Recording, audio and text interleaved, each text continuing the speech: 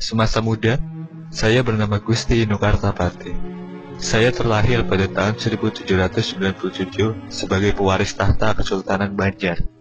Pada Maret 1862, saya dinobatkan sebagai Sultan Banjar dengan gelar Panembahan Amiruddin Khalifatul Mukminin.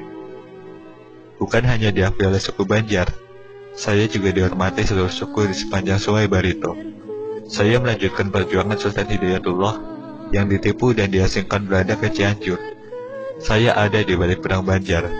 Saya bersama ratusan prajurit menyerang tambang batu bara Belanda di Pengaron 25 April 1859. Kecamuk perang di perang pun saya mainkan.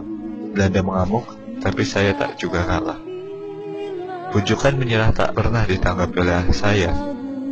Nyawa saya pernah dihargai 10.000 gulden. Namun, tak seorang pun berniat mencelakai saya demi keuntungan pribadi. Sampai perang selesai, saya pun masih tetap bertahan.